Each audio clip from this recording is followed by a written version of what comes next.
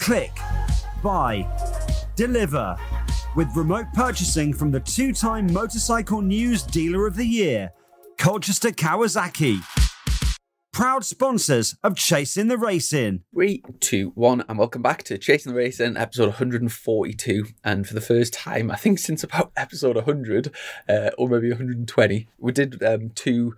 It was something like t- um, two lads, one pod ages ago. But yeah, for the first time, we're, we're guestless. So uh, this is going to be slotting in just in in the middle of the Northern Irish tour. So we've uh, so far we've had the podcasts from Jeremy McWilliams, uh, Jonathan Rea, and the one that's going out today. Although it'll be like last week when you listen to the this, Burrows one, yeah, the Burrows one, and then we're going to slot this one in, and we've got two more uh, sort of Northern Irish tour ones to get in, which um, That's what I, said. I was about to blurt out what that is, so we can't. It's uh, we're, we're playing with the time paradox again here, Chrissy, aren't we? That's both, the problem. Both very much roads ma- roads men predominantly. Yes. Although to be fair, both of them did uh, very well on the short circuits as well, so a bit of a crossover. But uh, they were both like cracking podcasts. Um, so I've listened back to one of them and it was class, and the next one I'm really looking forward to as well. So uh, yeah, you've got some good pods looking forward to. But yeah, um, we just thought we would sort of catch up with everyone really because it's a while since we've just sat down and had a big crack. And I feel like I'm about to interview you. Normally, you normally you're sitting there and you're all sitting over there. It's a bit. This is a bit. It's too old school, Chrissy. I don't. I it's it, it's it's uncomfortable to be fair. So it's know. uncomfortable, young. but uh, yeah, we've we've both. Um, well, by the time this podcast comes out, I'm hoping if everything goes to plan that my um, podcast, my announcement should be out uh, probably on Friday, so a few days Right. ago. So obviously, I th- fresh to talk about it on the podcast, and also you've got a, a big announcement to make about your, which is a.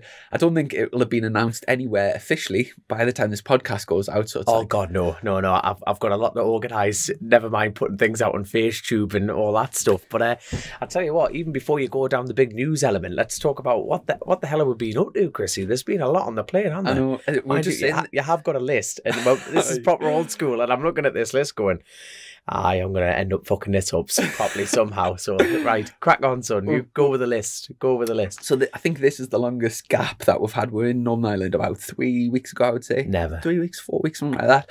But um, this is pretty much the longest, yeah, the longest gap that me and Dom haven't done a podcast for. Uh, in that time, just been flat out. Obviously, um, we'll get onto all the suit bike stuff, but there's so much to sort of organise, and so whenever I've got a spare minute, I've been doing that.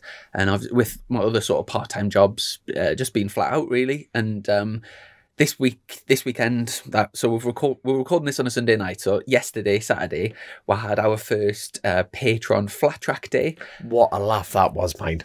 and uh, down at the Champions Flat Track Schools. Um, if any YouTube uh, watchers here, I've got the Pete Boast hoodie on, which thanks very much to Pete and Jackie I for was, that. I was about to say, if Pete and Jackie are watching this, they'll be thinking, why am I not wearing mine? I don't want to look like a dodgy married couple, you know, just walking around wearing the same clothes, Chrissy. So I'm going to have to stick with this. So, Pete, if you listen to this, I am sorry, but I'll, I'll be wearing it down to London, uh, which is, hold on, is that back to the time paradox here, Chrissy? so is that, aye. that's this weekend, so this would have been out after, blah, blah, blah. Anyway, Yeah. I'm messing up the list here, Chrissy. I'm messing up the list. But yeah, the um, flat track day, um, it was basically we, we originally put it out to the patrons, and the idea we had like twenty one spaces. The idea was if it didn't fill up, then we could sort of offer it to um, the the like people just on Instagram, YouTube, that type of thing. But uh, it actually got sold out straight away. And um, basically, the format of the day was a flat track fun day. So we did some basic sort of drills in the morning. There was a wide variety of um, sort of experience from people who've done flat track. We've had speedway riders, road race riders, Tom, all kind of motocross riders, the lot. Full age of rangers. So um, we in the morning we did some sort of basic drills and sort of shown flat track style, and then we did it, the afternoon was brilliant. So uh, free practice one, free practice two. Then we did a, a super pole session, which was four laps by yourself, which did sort of qualifying, and then we got teamed up in groups of five and did a, an hour endurance race with pit stops and everything. Uh, but yeah, it was such a great day, and um, obviously it was. It's funny with the patrons. It's very much like an online community where we do sort of It's uh, borderline a cult, Chrissy. Of, let's yeah. face it. like we do kind of Zoom quizzes and catch ups, and you feel like you you know these people because you sort of get messages all the time and speaking to you know they're asking good questions to the guests every week. But it's really nice to put a, a face to the name, and uh, it Were you, was well, look, I'm going to be honest. Were you spooked at any time? Like you know, people were telling you stuff from episode like ninety two, and you're like, how do you know that? You're like you're speaking to essentially a stranger, and it, it was it was surreal because you you're like they know almost everything that you're going through, and you're like. I just sat there like that, looking at these, like going like that, going, I'm gonna have to start being more careful. But uh, let's face it, I'm never gonna be careful what I say. but no, like like you say, it was absolutely cracking day, and uh, mind you, Peter's the the colour drained out of his face when we all started to get going, didn't we?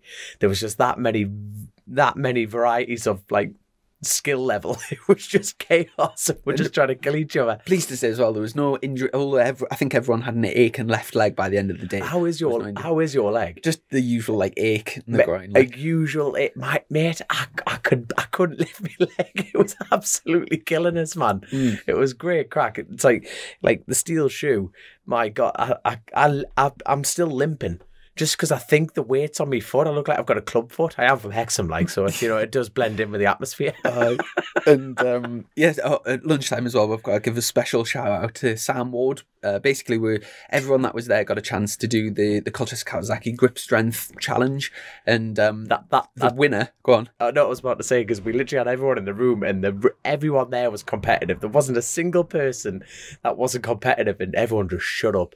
And it was just like it was like an extermination of mass mass, Chrissy. One and everyone just queued up and had to go with this, and we were reading out their scores. And, and also there was um, the Jonathan Rea signed Chasing the Racing cap up for grabs. So obviously everyone wanted to win it, and uh, so it wasn't just the pride of being the, the highest score; it was also for the cap.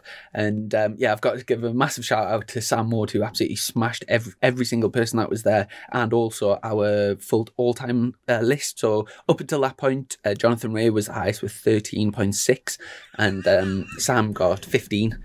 No, bear, bearing in mind, everyone would be thinking, how has he done that? No, he, he banged out 15, no problem whatsoever, twice over. And uh, as Dom alluded to just before, myself and Dom are down at uh, the ExCeL London show. By the time this podcast goes out, it's it's the end of the, that weekend, but uh, it's the the sort of biggest bike show in London down at the ExCeL, just uh, um like it's in the sort of east part, uh, in sort of near Canary Wharf, I think. And uh, we're, we're down there on the flat track bikes. There's I think about eight of us racing. The there's like a course in the right in the middle of the show with like grandstands and the lot. It's really really good. Obviously you did it last year, and I came down to watch. And uh, we're also taking the Chasing the Racing trailer down there as well. So it'll be a great chance to sort of meet some some of our listeners and maybe introduce the podcast to people that have never seen it before. And uh, yeah, we've got to, we're taking that strength game down, and uh, people can come in, get pictures, that type of thing. So really, really looking forward to that. I, I couldn't agree more, and it's going to be. Uh, like last time I was down there, right? Um, they already pre-picked the teams. I'm kind of panicking now. This is going to be like a flashback to middle school for me because I never got picked for football ever. So you got John, you got John McGuinness and Peter Hickman, and they're gonna they're gonna pick everyone else first, and then I'm just going to be left on the bench. I, I can.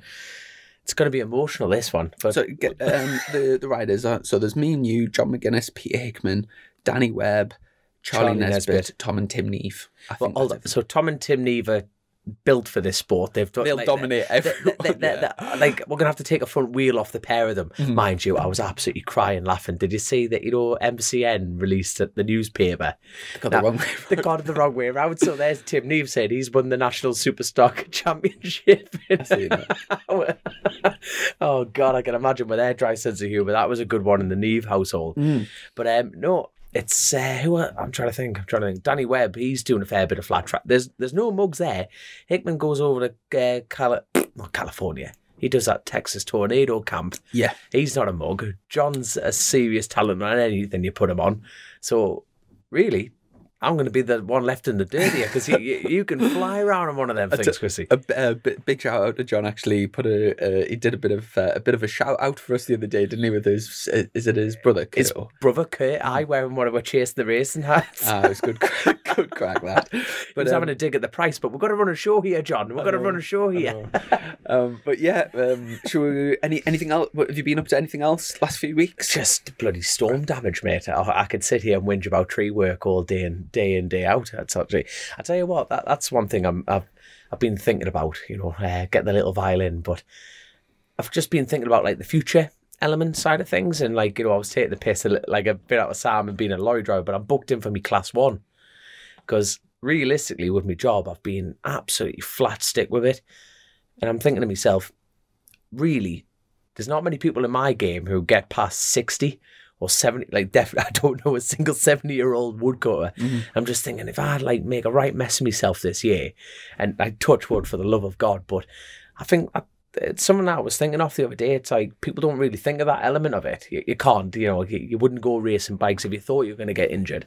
But actually, if I do knock myself and going back to work, it it'll take a long time to be able to go like like put a climbing harness back on and start running up and down trees like I do. I've been doing for like seven day weeks now, and I'm like.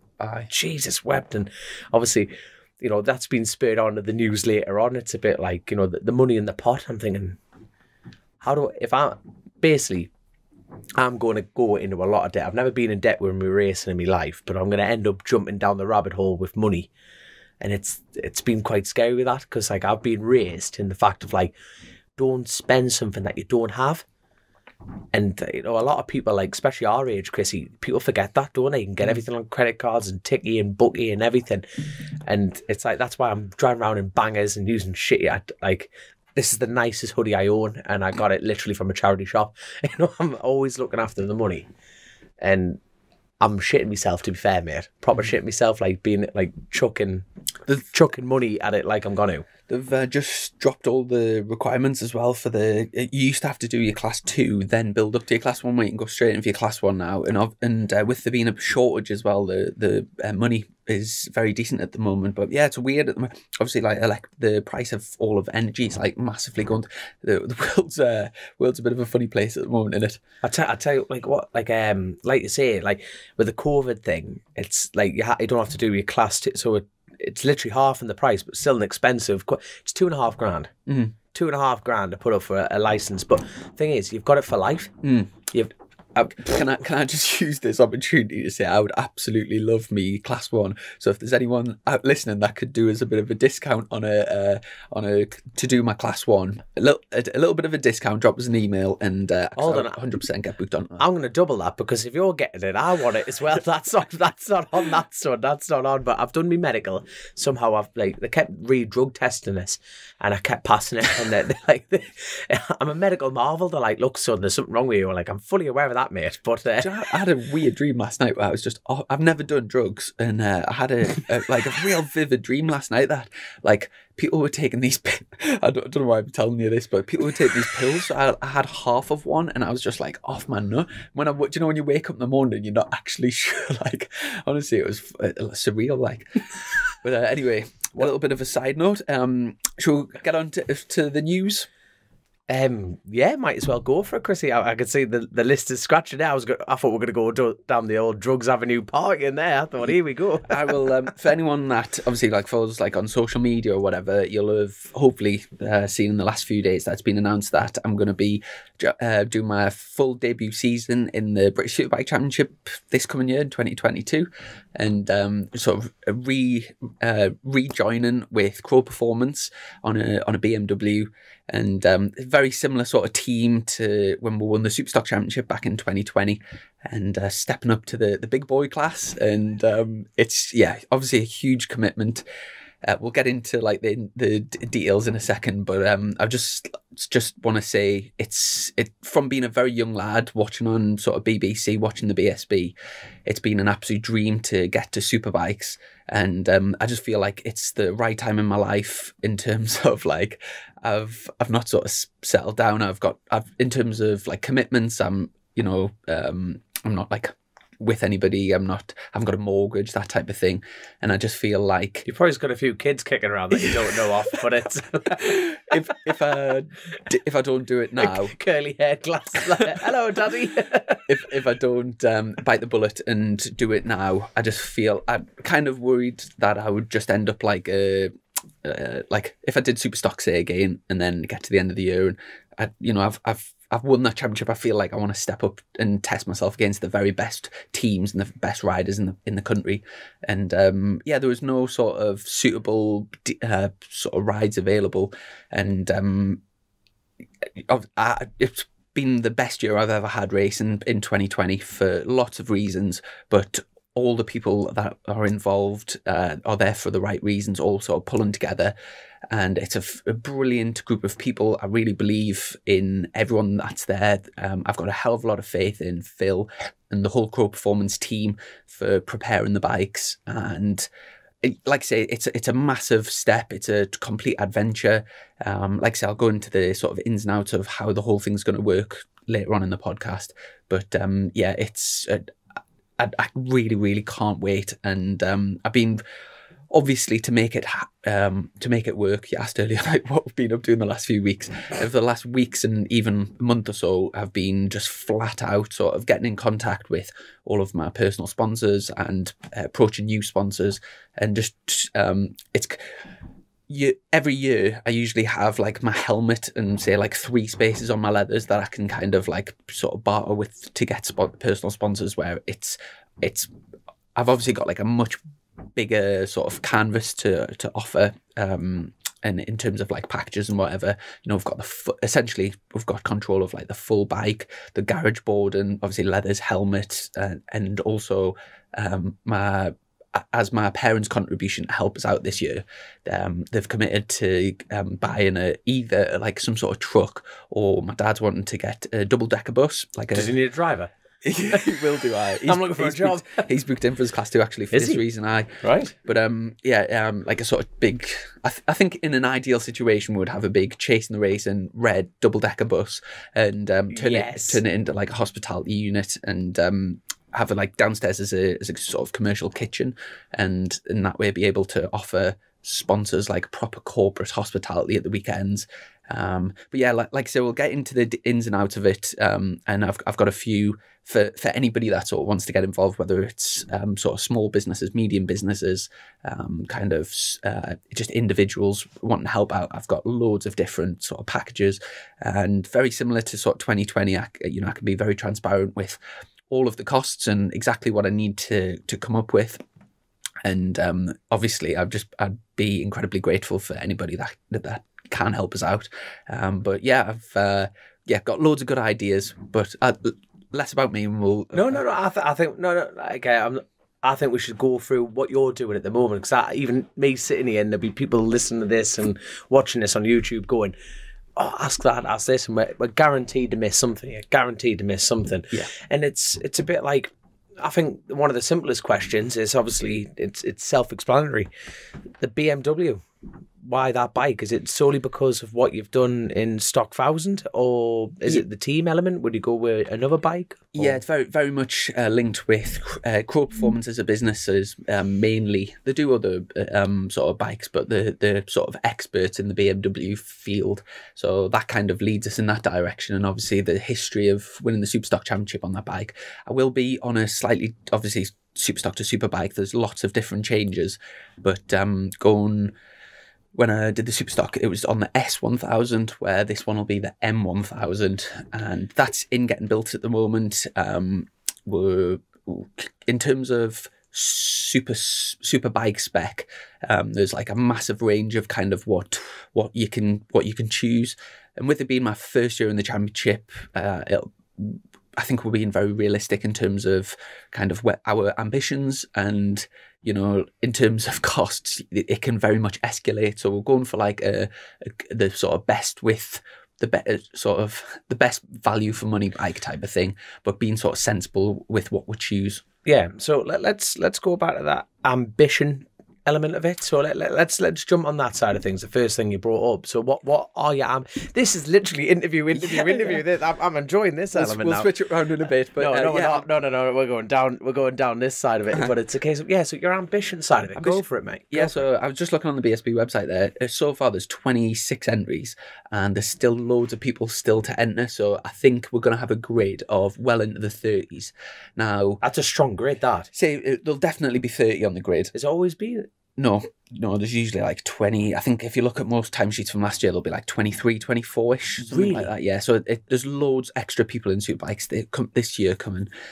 Um, Right. in terms of realistic targets, I think f- at the start, with it being completely like a new venture for myself and the team, I think if we can start by sort of finishing races, getting some experience, and if I can get some points, get a you know top fifteen, right in the middle of the field. Obviously, every race there's going to be a few people that have mechanicals, a few crashes, and then if you can beat like a good 10 riders, you'll be sort of nicking some points. And I think if we can start the season around that sort of area, around the sort of 15th mark, um, I think that'll be a real good start. And then it'll just be a case of getting used to the bike. There's lots of upgrades that we can, if um, sort of the finances allow, and depending on where where we are, there's lots of sort of upgrades that we can go for. And yeah, I think just just realistically, if I can sort of be beating some of the some of the established sort of, if you like, um, full time superbike riders as a privateer, I think that'll be absolutely incredible. And um, it's funny. I, I, mean, I have been in BSB before. I did a few uh, one-off races um, back in 2018. Yeah, 2018. So years ago. I, I remember back then I had such a limited understanding of, of the bike, how it worked, settings, uh, suspension, the chassis. I remember sitting in sort of debriefs and they, they would turn around like full team and like, right, uh, and asking us questions. And I'm just thinking, well, it was, I'd literally had no testing on the bike. I'd never been on slicks. I'd never been on a super bike.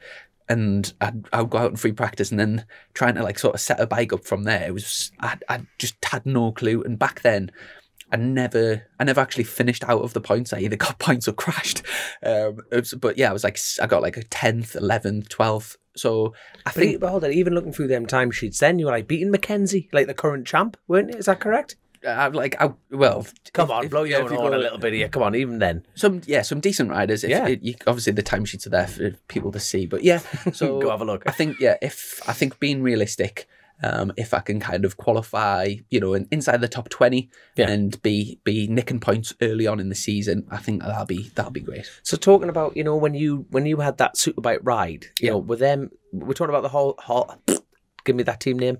Halsall. Is it Halsall? Halsall. Halsall. Was that like a top end bike? On Halsall. Uh, it was a it no, was no. Like strong, as far as Suzuki are concerned, what they could turn out. Yeah, it, it was decent. Um, back Yeah. back then, it was when Bradley Ray and Richard Cooper were on the Buildbase bikes, and actually that year, I've I've um, I think I beat I was I definitely beaten Gino, who was on the OMG bike at the time. Beat him most most of the races that I've finished, uh, if not all of them, and I I was consistently. Um, I think I, I'm pretty sure I beat Brad a, a good few times as well. Yeah. and Richard. So um, No, I don't think it, it wasn't like the, the the best bike on the grid, but it was very well put together. Excellent team, uh, some really sort of experienced people in the team, and I, I did learn a lot in the few rounds that I did. But like I said, I never did any testing, uh, and it was very much just like d- dip my dip my toes in. Yeah. in, I would say. Oh no, because it's interesting. Because like what I was saying, like um, that Suzuki would have been one of the best. Like as far as upgrades that you were like talking about beforehand, you know that that Suzuki would have had all of them. So you were briefly discussing with me before we started this episode. Is like let, let's talk about the fork options. And like you're going down the front end forks of like the fork, like how much are the forks? You tell me, tell the listeners. Yeah, and um, This is the That's- comparison in bikes. You yeah, know what I that's mean? that's a, there's one the one thing where I don't know in detail about the the budget is the bike. To be fair, but I do I am aware that there's that there's lots of options, and Right. we've kind of picked we've uh, strategically picked ones that we think are good value for money, and kind of so it, just in general in in super bikes you can go for forks that are like sort of around the sort of four five thousand pound, and then you can get ones that are like 10, 11,000. and you know it's. It, you've got to be really confident that they're, they're going to be much better. So, that, and same with like engine specs, and you can always, I mean, you can always upgrade things, but it's it's that thing of um, like the law of diminishing returns, and yeah, you've kind of got to be realistic. So, obviously, in terms of the the budget to build the bike, um, you can you can get carried away in super bikes. So, yeah, I, I, I'm confident my bike will be, you know, strong. Oh strong god, it'll be definitely a strong bike. But like, let's talk. Like you were talking about, we're always going to compare it against the R1 or the the Ducati, aren't? You know, like them being the best bikes and the best teams and stuff like that. But being a privateer, it's just that it's it's always that one thing, isn't it? Budget. Budget, budget, budget, and that's the one thing you're desperately going against. And like you were talking about with your ambitions, they are like very realistic, very Mm. realistic. And the thing is, you've never been one of those riders that I've gone, I'm going to be in the top three, top five. You will always deliver on the day. You're, you're a quietly confident lad. So you're saying top 15, I'm, I'm top 10. I'm, I'm just going to actually blow your horn for you, son. That sounded so worse than should have come out there. But no, it's a case of you've definitely, you've definitely got it to get it going, haven't you? But it's, uh, Yeah, well, to be fair, you never know. And if you pick any sort of race from superbikes and you look at, um, it's very difficult to, like, pretty much everyone in superbikes is beating each other. So, you know, it's it's very, you, you cannot just say, oh, I've beaten him before, so therefore I'm going to finish here. yeah, it It- you've got to be, like yeah, you've got to be realistic. But at the end of the day, there's nobody, you know, there's nobody on in that field which is um, kind of uh, untouchable in terms of like, um, obviously there's, there's some incredibly uh, top class by racers. The the level is unbelievably high, and obviously, I think by now there'll there'll have been a few more announcements. So you know, it's like it is a the best uh, domestic series in the in the world. Yeah. Um, but you know, I've, a lot of the established top top riders I've I've battled with, you know, numerous times, and and uh, I don't think there's any reason once we get you know set up that we can't be reasonably competitive. So yeah, it's it's pointless. It's it's pointless like saying I'm going to do this. We're talking about this earlier. I'm going to do this. I'm going to do that.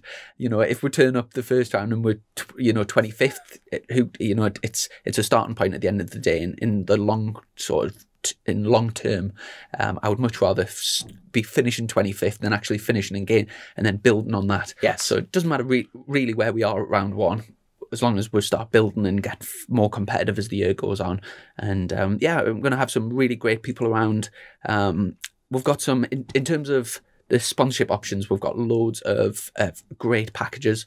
A lot of this superbike uh, teams are obviously set up and there's lots of um, massive costs involved in you know it's professional people are working full time on wages and whatever and the costs you know are huge. Uh, in terms of our team it's very much similar in superstock you know lots of sort of volunteers and everyone sort of pulling together really.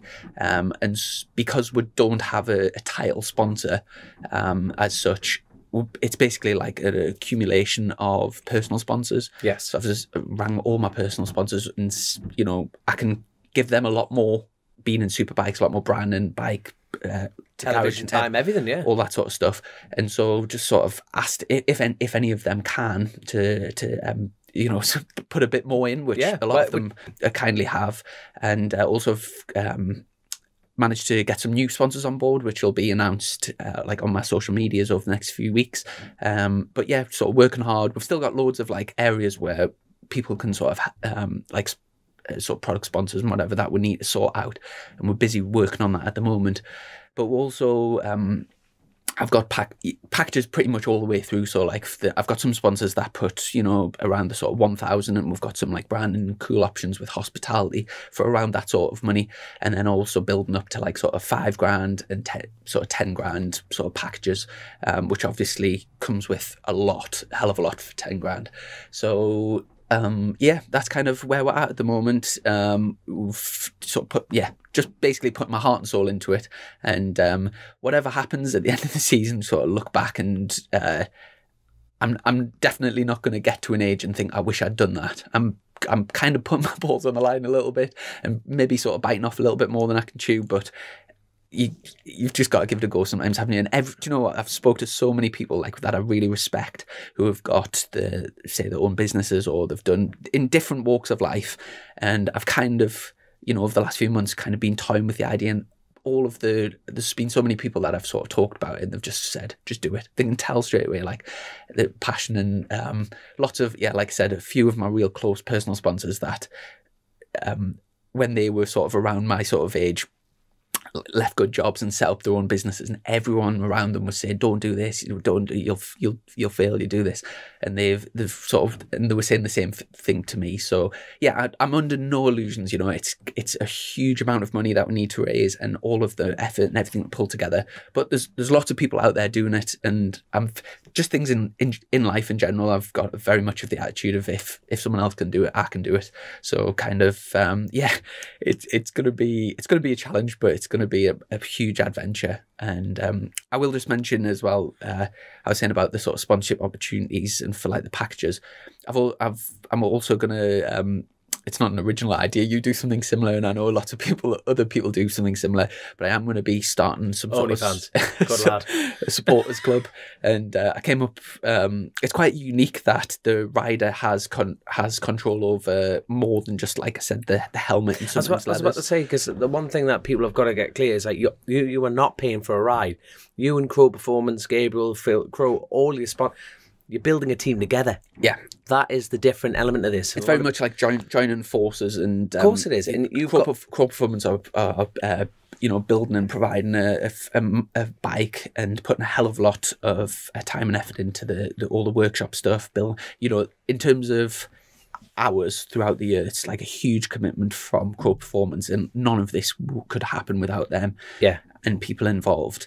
And um, now, obviously, I'm looking after uh, the the running costs and financing the running costs, which obviously are huge. And I've I've never raised any sort any um anything like that sort of money, but uh, very much the attitude of let's just give it a go and see. You know, I'm I'm I know we'll manage it somehow, um, and we've got obviously like a proper proper plan in place, uh, and um, yeah, so. It, sorry, I was just I was just going to say for uh, individuals Yes. who wanted to sort of help us out, I'm going to set up a, a supporters club, and I was just um, it's unusual that the rider has control over or some control over sort of the the branding and like garage boarding, for Yeah. example. Yeah. yeah. But uh, I am going to set aside when I when I design all the the garage board and what it looks like. Who's doing your garage board for you? When that's one of the things I need to sort out in terms of buying it. But uh, Right. I'm gonna- There's thing. I'll get in touch. yeah, I'm gonna um I'm gonna set one of the boards aside to do like a sort of a, a bit of a fan wall type of thing, like a supporters club. And um, like I said, it's not an original idea, but I'm gonna give up the people the opportunity to send in uh, pictures of either them or the kids or whatever, and um, have like five centimeter by five centimeter squares. So it'll be on in the garage for the full BSB season, and um, set up like a f- so if people buy a square, they can be in a Facebook group, and then there'll be sort of giveaways and like very much like live streams and stuff, very much helping us out. Um, but yeah, yeah, so I'll be doing um, a square for like 150 quid and be in the sports club. I know that's a, a lot of money for an individual, but um, obviously it's I've got a hell of a lot of money to raise, and for anyone that is in the position to help us out, um, if you just like either send us a message or email us or whatever, and we'll I'll get that set up. I was also going to do a so if we're doing little squares, I was going to do a three by three square, so it would be like a 15 centimeter by 15 centimeter square, so like a big one, which would be like really noticeable on TV. Um, and do maybe do that for like a, if each square is 150, like do that for like a, thousand pound. Yeah. Yeah. Um, obviously, it's a massive amount of money, but um, I think it'd be really cool to like see your face on on the TV and stuff and be in the garage.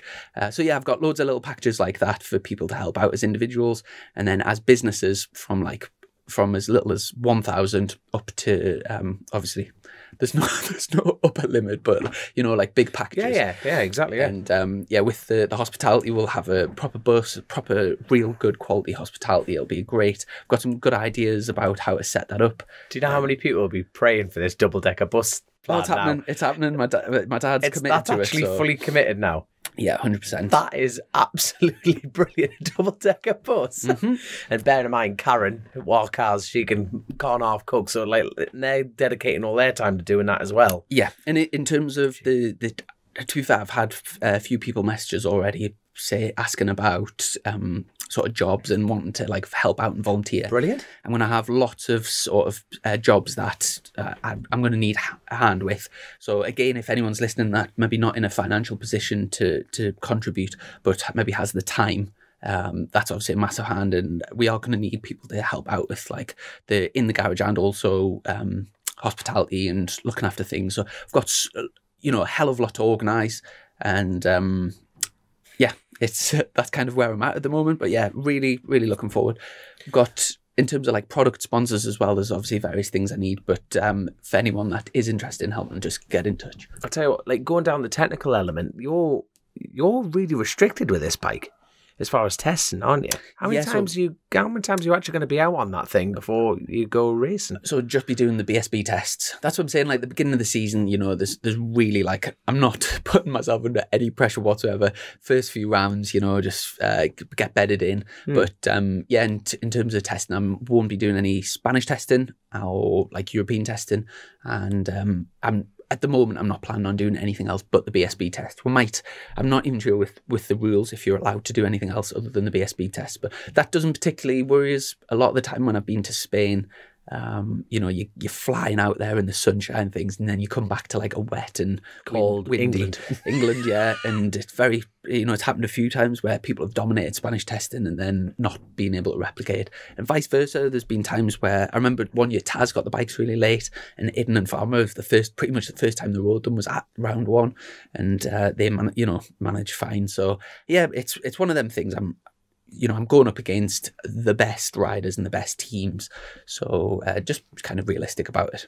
Bloody hell, fair play, mate. Fair, it, it's terrifying even just sitting across from you because like the stress levels that you're going to go through. It's, it's unreal. but like you say, you're in for a penny, in for a pound, as they say. That's it, yeah. And I, I will be doing. Um, I'm going to start a, a thing on my all my across my social media for uh, sponsor spotlight Sundays. So every Sunday I'll be uh, sort of doing a spotlight feature on on one of my sponsors, and uh, that'll be a great chance for like people that, um, who are helping us out, be able to sort of explain what they do as a business and that sort of type of thing. But um, yeah, we've had uh, Alan Towell's back back involved, massively in, involved with the team, and he's been a huge help in terms of sorting things out and sourcing things. Good And, uh, he's work. I'm always on the phone. He's working his socks off to try and help us make it happen. And obviously, all the Crowe Performance like Gabriel.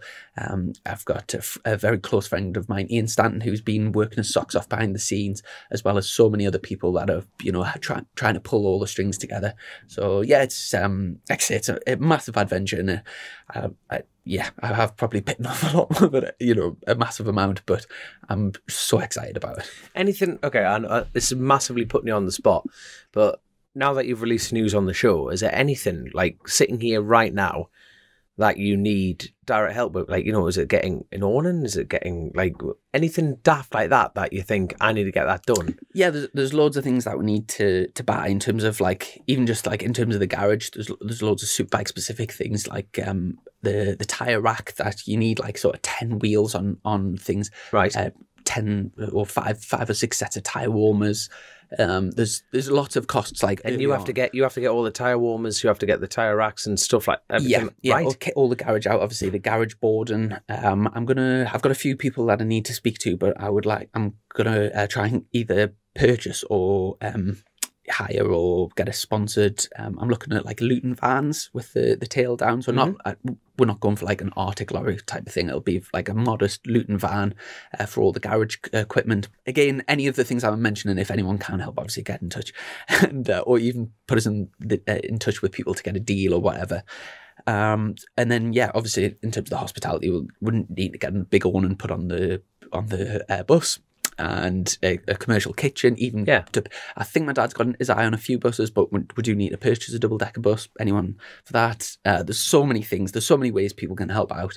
Uh, so, and even as much as just like sharing things and that. because a lot of people, in my experience, you know, it's, I've always personally found it really, really hard to go up to someone and go, look, you know, this is my race and I need to get sponsorship in for that. And what I've found easier and what people like tend to prefer is like buying something for you. In my experience, so it's like a bit like a tire rack. I don't, I wouldn't even know how much a tire rack is. I've got two arms. I carry my tires like that. Mm-hmm. But how much would a tire rack be? At a guess, off the top of your head, without probably price, what it'd be a A few but the aluminium, there'd be a fair few quid. So Yeah. even like, let's call it a thousand pounds because you know with electronic plugs and everything like that, you know, if there's anyone out there that wants to buy Chrissy a tire rack, Oh, the, yeah. There's there's loads there of things. lo- loads of things like that. You know what I mean? There's lots of companies I need to uh, still get in, in touch with in terms of and see what sort of prices they can do things for. But yeah, Yes. I've, I've got everything. Well, any Again- aluminium welders out there, Yeah, they okay. could bang one up. That'll be awesome. Okay, do you know? Uh, can you remember? We had a podcast called The Spreadsheet from 2020. I've done ex- we've got exactly the same, but it's it's a much more in detail spreadsheet, and uh, yeah, it's obviously that that's got pretty much everything on, and um, yeah, just kind of working our way through and sort of tick, ticking things off. Obviously, tire tire bill's huge for super bikes. Um, I can't remember if it's like nine. I think it's eleven rears and nine. nine front, something like that. But yeah, it's it's huge, um, and yeah, it just kind of working our way through. But like I say, I'll, I don't want to go through each each and every sponsor that's come on board in this podcast, but if you check out my socials over the next few months, I'll be putting things on. Uh, also, I've I won't announce it now, but I am changing. I'm staying same leathers, but I am changing helmets, so that I'll be putting a, a post out on that. I was about to blurt that out. I'm glad you said that. Like, oh, but yeah, I've got a, a few uh, things. But anyway, that's um, yeah, th- thanks very much for listening to me ramble on, and uh, I'm looking for. I, I, tell you what, I will just say one last thing. I would love to. I know it's quite common at the moment, but I would absolutely love to put some sort of um, sort of YouTube series um, t- to sort of maybe like a round by round thing, not like a weekly thing. Maybe just like have like a YouTube thing of all the behind the scenes stuff. Mint for idea for the for the eleven rounds and the testing. And um, again, in an ideal situation, I've you know I've got like for example Dave, who's who made the film. Yeah, yeah, yeah. I'd absolutely love to turn around and sort of be able to finance a full you know professional thing. Yeah. But um, I've obviously got to be real, like realistic with the budget. And but yeah, if it, anyone can help with anything along those lines, Yeah. um, there's I, would- literally that- in terms in terms of like staff, if you like, for a race weekend, there's it's a huge, huge um, operation. So I, I I am going to need a lot of help. Um, but yeah, I, I know a lot of lovely people, and I know that uh, a few of them might might want to help out. Yeah, definitely, mate. I tell you what, though, if there's that would be prop, that would be good. That isn't it? You know, someone could get on and do like help out with the vlog and do the film and everything like that for you. That would be really good. Mhm. Really, like like you say, it's you know people have done that before, but then you think they've got a massive purse string behind it. So it's a little bit different. So if, will- so, if so, like I, I'm going to put the plead out for you, son. You know, I'm, I'm really hoping someone out there there'll be, you know, if someone's in college or in training or anything like that, say this is a really good story to follow. I think anyway. So, but- I've, I've got Lundy on the job uh, helping us out with uh, sourcing a few things as well. So he's working Good. stuff as Good. well. But um, yeah, I think that's uh, that's kind of enough about my news. And you've been in a real similar sort of position over the last few months, Nah, where really. over, over the last few months where we've been kind of discussing. Um, you know, you you've you're very much sorted with your smaller bikes, Yeah. and you've been looking around for the last few months and sort of seeing what's available on the roads. Obviously, the the last uh, two years, the, the big events have all been cancelled to COVID. But the year before that, you know, was such a, a brilliant year, just getting top ten in the senior. You know, like really establishing yourself, and um, everything's just been quiet road racing for the last few years, and then getting back in touch with people. And um, yeah, obviously, do you want to? People already know about your um, your lower classes, but do you want to just run through your sort of stable of bikes and what you're going to be doing this year? Yeah, so it's a case of um, we've hit we've hit the ground running really this year. It's a case of um, I'm very very very lucky that um, I'm still on board with the Counting Racing team, and we're racing Kawasaki 600 and Kawasaki Super Twin, but there's a, a lot of, a lot of um, a lot of moving parts. Put it that way. So stuff like with the TT concerned, and even the Northwest 200 are concerned. It's like the regs haven't been fully released on like the Super Sport, so we've got a 600. But coming to TT, are you allowed to run 636s? Are you allowed to run 765s? Are you allowed to run like higher capacity bikes like they do in the Worlds? So we're still got our hands tied on that side of things because we're trying to figure out where to spend the money because um last uh, Jesus man 2019 it's like a lifetime ago and it's like I'm not the only one but being a pure roads man it has hindrances massively on that side of things but yeah, we're just we're just gotta we're just gotta wait. We're in February now, mate. Mm-hmm. February, and you know it's gonna be May. Well, hold on, the beginning of May, really. You know, let's call it the beginning of May. We're gonna be at the northwest, and it's like we don't even know what we're gonna be putting in the chassis. Is it gonna be a six three six? Is it not? It's just oh, it's a bloody nightmare. And then the good thing the uh, accountants are very much we're very much similar to the the Crowe Performance, you know, where it's like I'm I'm I'm definitely definitely not paying for a ride, but I put all my money in. Fran puts all his money in. Chloe puts some of her money in, and then Neil puts all his money in. You're thinking it's just a family effort, and going to the events like that, it really we budget it. Say on three bikes, we're budgeting that on ten grand a meeting, which you know, compared to British superbikes, you're spanking that no problem in a weekend. But when you think for a little privateer team like us on the roads, it's it's a lot of money to find. Mm. But as far as the big bike option, you know, my the biggest problem is since 2019, people had their seats confirmed for the 2020 season, and a lot of team, but they haven't they haven't needed the move, have they? You know, it's just a, it's a case of like, all right, well, the seat's still there. We've got everything prepped and ready to go. But behind the scenes on a lot of teams, there's been a lot of moving parts. You know, people are starting to get itchy feet, and there's a lot of different, different, well, dynamics change. Like a lot more people are interested in the Yamaha R1. You know, there's a few things change with the BMWs, uh, like the Honda element. And it's like there's a couple of people who haven't actually fully announced what they're doing yet. Like as far as the big hitters are concerned, and you think, well, what's going on that side of things? But I've spoken to a lot of people, and that's something I've never done before. I've never ever had, well, quite frankly, the, the, the confidence to actually go, you know what, I'm, I'm going to ring him because the, the worst thing they can say is no. I'm thinking, right, bollocks to it. So I've rang a few people. People, people now just tell us who you've rang. And I'm like, nah, it's not yet anyway. Don't worry, I'll blurt it out later on. But at the moment, I'm not going to. And, um, but it's all come down to it. Like I say, Chrissy, we're in February and I'm going to buy my own big bike. Again, it's a case of nothing's on the table. Like, you know, as far as running a, a, a new competitive bike. And uh, this is uh, going to be a bit of a shock, but I'm going to end up running a BMW again as well. I'll probably end up on an S1000 RR because it's 10 grand more to go down the M option, but the M option is a stocker, so I'm, I won't be getting a superbike, but I can run a stocker in the superbike classes as well. So trust trying to put that together is a is a fair bit more, but the difference between me and you is you're trying to build a full superbike infrastructure. You know, I'm very very lucky that I've got the Countons on board, and they're they've already got the awning set up there, which is brilliant. But I'm gonna try and buy my own awning, like you know, one of them instant pop up shelters or something on those lines, and separate it off because I'm gonna be buying a bike with one of my sponsors as well. So he'll be putting all of his money in, I'll be putting mine, and then I'll have to find the running costs. And I've got some really like yourself, good personal sponsors, you know, like the he- like the Hay family, they're fully behind us on that side of things, which is great. And yeah, I just, um, I'm, I'm going to be honest with you, I'm shitting myself with the BM. I am, because I know the bike's absolutely brilliant. That, that they are absolutely brilliant. Like, you know, look what you did on them and, you know, look what Hickman's doing, you know, for the roads element. It, they are a fantastic package, but it's the thing I'm fighting on the uphill battle is, is the technology side of it. That's the truth. You know, it's like, it's being able to have that infrastructure there to be able to check the bike over and run it properly and that's something that you need to rely on now. And like the good thing is with you doing the crowe performance you've, you've got crowy there. You know what i mean? He's practically german himself now isn't he? You know he knows that much like about it and he's got a very close relationship with alpha. But this is the problem. I'm racing against crowy on the roads and you know don't get me wrong you know everyone's there to help each other out. But going there that's my only worry with the bm it's that that technology element of it, but they they are a strong, reliable bike. And in terms of t- to get your licenses before the Northwest and the TT, do you have Mm. to do a few club races or something? So they actually haven't released that side of things on the ACU. So normally you have to do a this is testing this, this is testing this. You have to have ten signatures every year to go to the Isle of Man, but the the TT once you've done it, that counts as two, or no, I think it counts as four, I believe.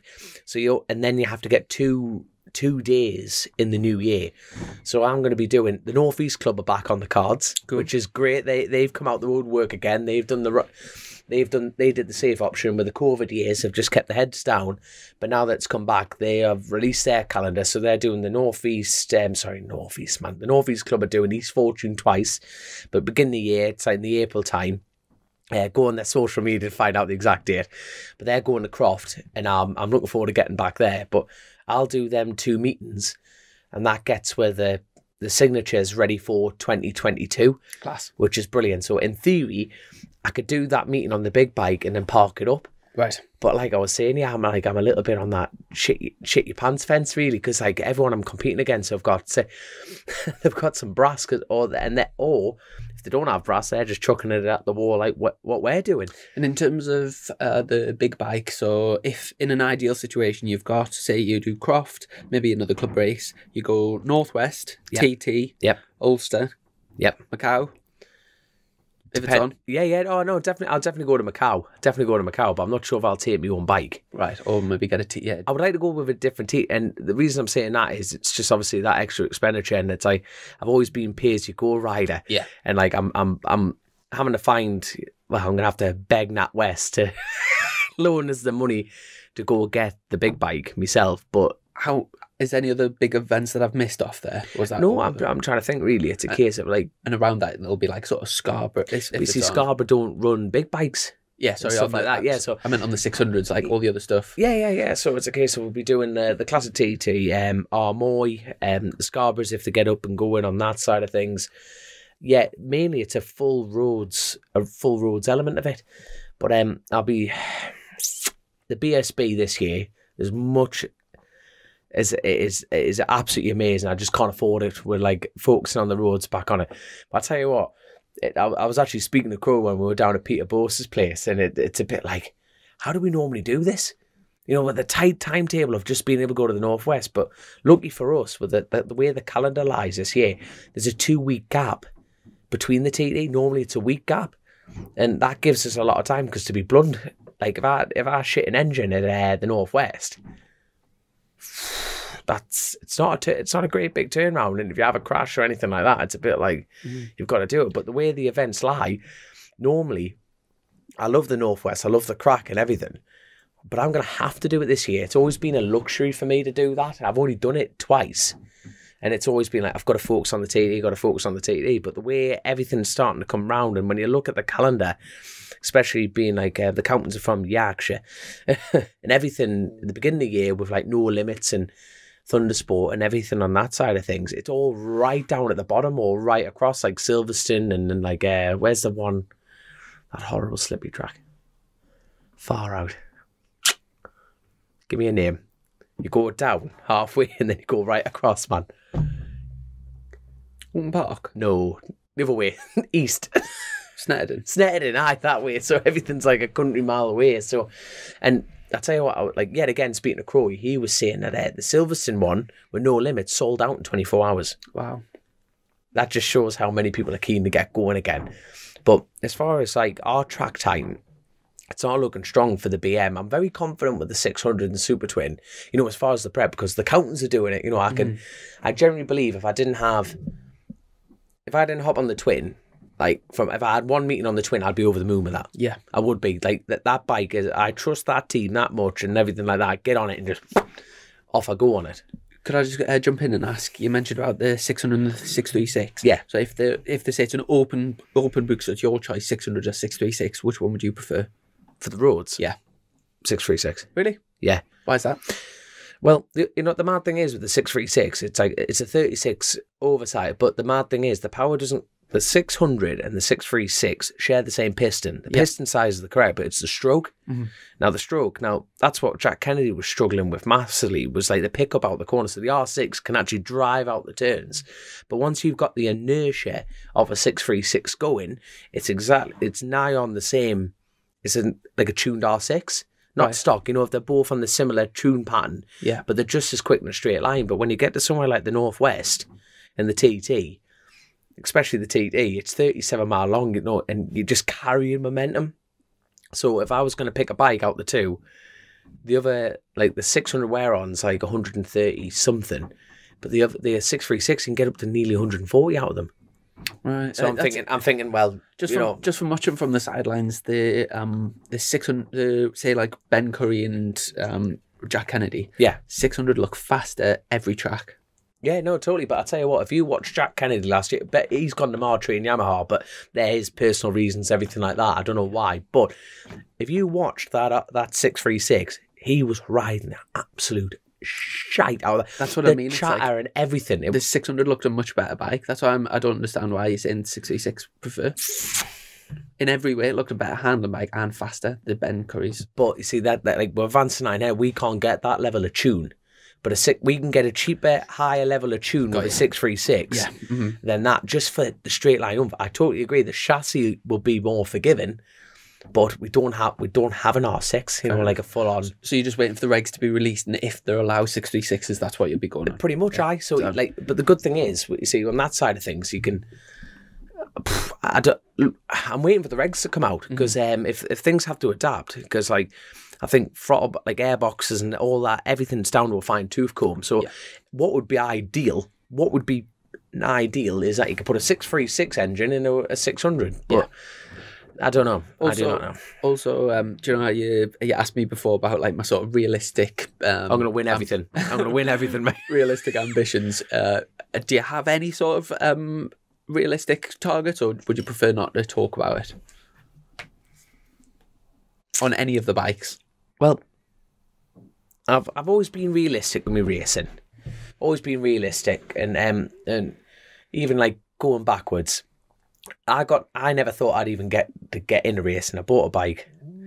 and got into a club race, and I went. I'm going to stay at the Northeast Club and do three rounds for the rest of my life. Never ever would I thought I'd get to the Manx Grand Prix, even though it's been a dream. Got to the Manx, and my old man said, "Why don't you have a crack at the TT?" I'm going. I'm never going to get an entry. I got to the TT my first rate, like, you know, and I went from like a 74 mile an hour lap by myself, first one, I'm thinking, I'm never going to get over 100. And then that progression, and that's what I've fed off. At no point have I ever, ever got on a motorcycle and thought, I'm going to win. That's my, I'm, I am very open and very open with everyone. But because of my nature, I haven't got that, like, you know, I'm not sitting there going, I'm going to win, I'm going to win, I'm going to win. I get on a bike and go, I'm going to go for it as hard as I can. And that's where it's became an addiction for me. And I'm and I don't mind saying the word addiction. People use that as quite a negative thing, but I'm very proud of that. And I find that drive. And now we've gotten the top 10. TT, if I breach the top six, I'll be over the moon because it, really like people say, oh, that's only four positions, but in this game, if you look at the laps and the speeds and everything like that, breaching the top six, 600 wise, can't see why not. Really can't see why not. And Without, Super- um, do you know how you're saying about like beating my drum without beating your drum? I, I, the last time you were on the 600, you had a, a decent finish and your bike was extremely slow Yeah, in a straight line. So you were giving off like, I remember seeing the speed traps and you were giving off like 10 mile an hour, 12 mile an hour or Yeah. something. So if you can get the 600 up to speed, yeah, like you say, sorry, then what were you going to say, twin? And twin wise, you know, it's a bit like you're competing. Like it'll be interesting to see what happens with this Norton element because that that, that that's a bit of a that's a bit of a red circle for me. That Norton, you know what I mean? But like, um, and then Michael Dunlop, he's always an enigma in the sport. He always keeps his powder dry. If he gets on a pattern, let's see what happens. Jamie Coward is on the best Kawasaki on that grade. Period. You know what I mean? Farquhar's coming out the scenery again. So Derek McGee, you know Derek McGee, yeah, Derek McGee, he's a he's a podium finisher, but you know it's super twin racing, and to be blunt, I'm capable of a podium. Mhm. But when it comes to road racing, you need lady luck on you, and this is the first year I'm sitting here going, you know what? I'm capable of it. I am on a super twin. I am capable of a podium finish, but it's a it's about being on the day. That is, I'm capable of it, but an ambition, you know, like yeah, that is an ambition. And That would be amazing. A podium in any any of those would be And in terms of, uh, th- there will be some people either listening or watching that. laughing their co- No. my god like no Haven't- son there's not a bloody hope you're I was, gonna get I was going to say that, like, haven't followed our, um, like, listened to the Story podcast for a while, yeah, and uh, they won't even like be familiar with like the 130 Club and that type of thing. Do you want to uh, give uh, just a quick rundown? And obviously, what what are you doing this year? Like, continuing with the 130 well Club? the, yeah the 130 club like started from like in 2019 you know after doing 129 point Six of it. yeah. Upsetting that isn't it? Upsetting and it's to be I tell you what you know when you're talking about ambition that's going to be the worst thing for us. So you know going back to your question it's like the 130 started because you need money to take a step. Look at what you literally this is what this whole episode is about. It's about every racer only gets sick of racing motorcycles because of the politics and that politics becomes from ambition and drive and everything. If if we were generally all happy about getting on a motorcycle you would have stuck away your heart is that not fair? Like you go do a race and God, I'll do one race a year and I'll be happy for the rest of my life. But it's certain individuals like all of us and all the racers listening to this, that is very much the problem in racing. Like, I want more, I want more, and I want more.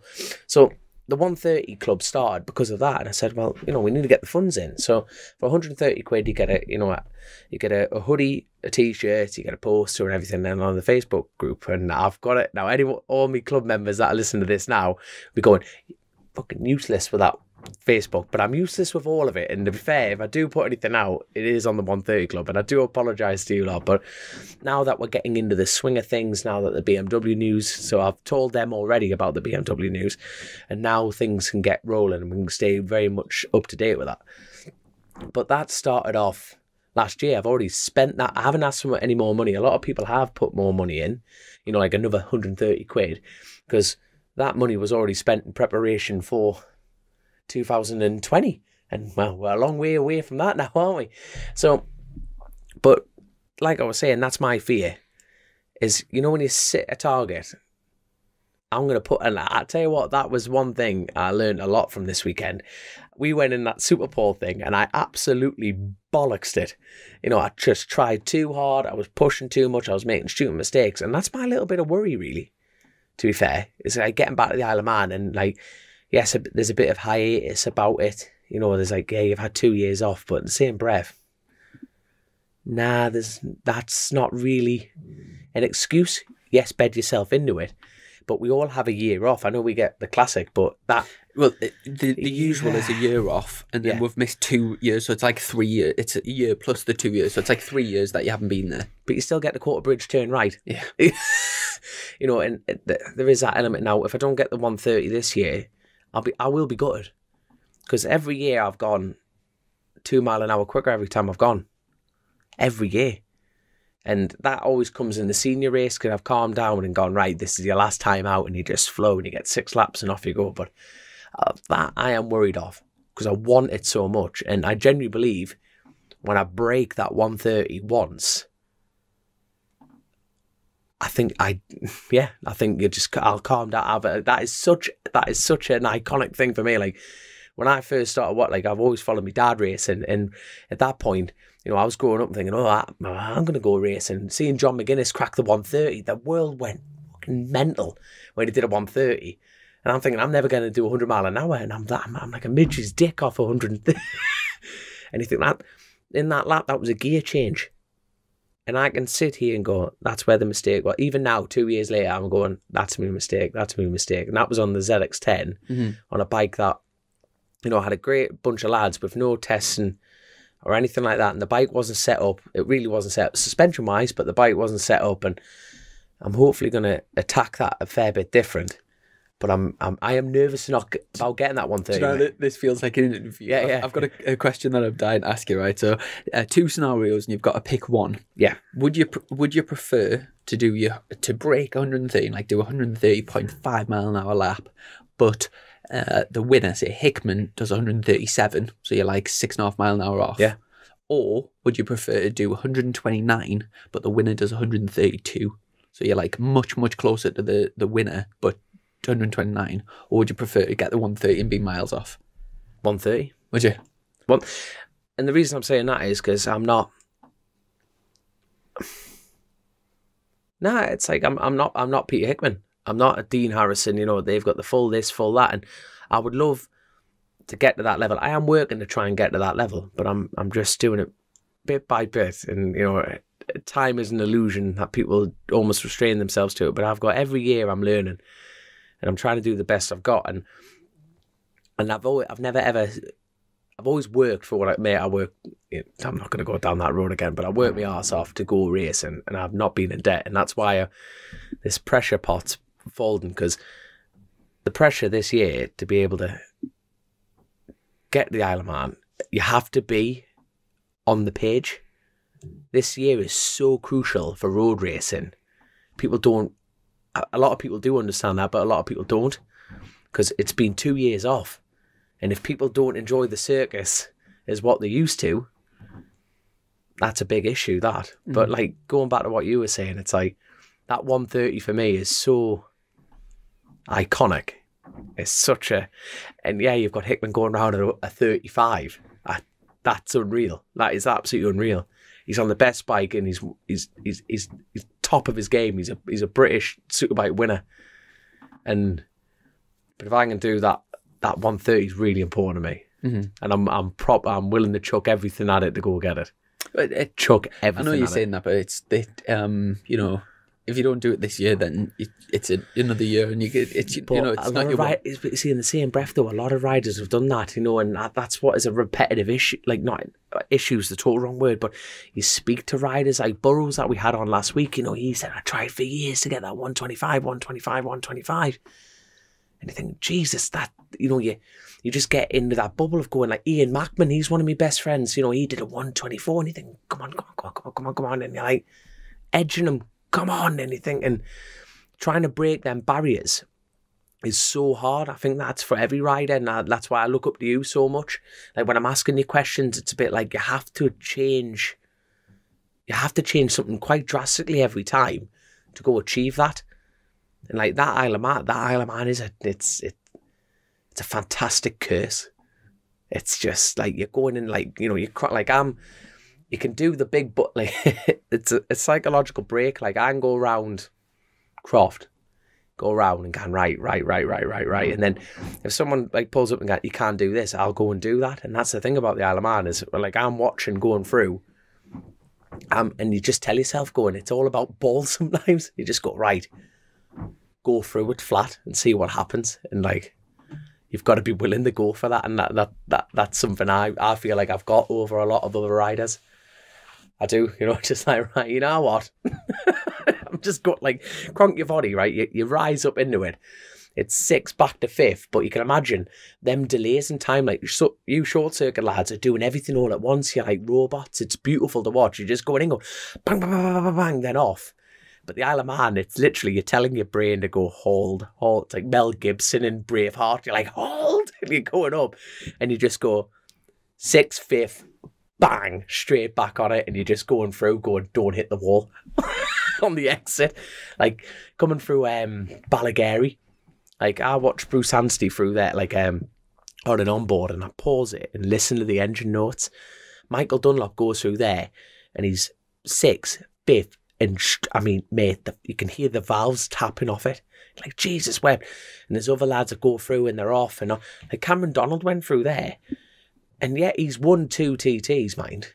He went through there, six, fifth, and, and it was quite lazy on the exit. But then that worked. It, and, and then you start thinking about you can almost have too much knowledge in this game. You think, well, why did that work and that didn't? And you can overthink it.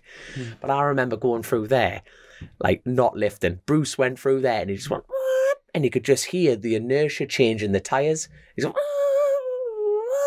and you're like, he's held that flat. He's held that flat, and the only note change was the tire wall. I went through there, right? I went there and I'm thinking, I'm on a crappy 600, my own 600. I built with me dad. I've got a Maxton shock, standard, everything, brake lines, a lot, everything. I'm going, if Bruce can hit it flat, so can I. I tell you what, right? There's a hay bale on the exit. I rubbed my ass on that hay bale exit all the way down. And I just went, right, I've hit that flat on a crappy bike. The next time I came round, I hit it flat again, but I was in the middle of the road. Because your, your body freezes up and you're like, you just lock on and you're going, whoa, whoa, whoa, and you're trying to like tell you something, that, trying to tell your body to do something that it's not prepared to do. But then once you calm it down, do you know, flows. Do you know? Um, I don't know if it's anything you've. There'll be a load of people listening to Ballagarey this year going, "Is the taco rolling?" Hi. Um, do you know in terms of like doing onboard laps in your head and like knowing what things do you um to like try and keep keep your mind busy in this massive gap that we've had on? Do you sometimes sit and do full laps of the TT in your head or? Um, you know what? I'm, I need to do. I'm I'm very conscious about that, and you know, I'm I'm getting I get sucked up in everyone else's bullshit. I need to start like like sitting here now in February. It's like I need to. And I need to sort myself out. To be fair, Chrissy, I massively need to sort myself out because, like, leading up, you normally get in a pattern. It's like right, January, just onboards, onboards, onboards, and yeah, I've got a system that I really like. How I watch onboards. I've done nothing of that. I'm thinking that's that's not good. And because with the two years off, I need to go to the Isle of Man again. Like I've never ever been. I've never drove over and gone done laps ever. I do fancy doing an uh, Isle of Man tour sometimes. Yeah, well, who, Take the trailer around. Well, who we got over there? Right, Nathan few. Harrison's over there. He's he's he's going to go well. He's been out in Spain all the time at the minute. He's definitely allowed to go for. But we've already done Conor Cummins, but we could do him again. Who who else could we get? Paul Phillips in the flesh. Paul Phillips in the flesh. Oh, Milky Quayle, Liam Quayle. We could get. We could get. We're doing an Isle of Man tour, kids. There you are. That's a, that'll lead up nicely. um, Lovely. Well, I tell you what, we've got a few Patreon questions about a uh, thing. Uh, you didn't mention about the 130, so if people want to join in, just um, how how do people get in touch with you? Yeah, so just drop us a message on uh, like Facebook, and I, I need I need to catch up on that sort of thing uh, massively. Just need to get everything reordered. I've had to change. I've had to change stockers because they lost the old design as well. Right. So I'm having to reprogram all that and waiting for samples to get back in turn. So that that's kicking off again. We've got um, 18 messages. That's Shut up, man. quickly, Right, crack on with them, For- son. Crack on with them. First one, Mark Prescott is just asking about the news. So obviously, I've I've uh, I've already mentioned that, but I'll write on the Patreon page so they'll know early anyway. What are Dom's plans this year and what bikes will he be riding? So we've done that one. Yep. Uh, Liam Evans. So, a question for Dom: With TT organisers announcing smaller starting grids for races, do you think the event might lose some of its charm with less privateers being given a shot at racing the mountain course? Not for the TT.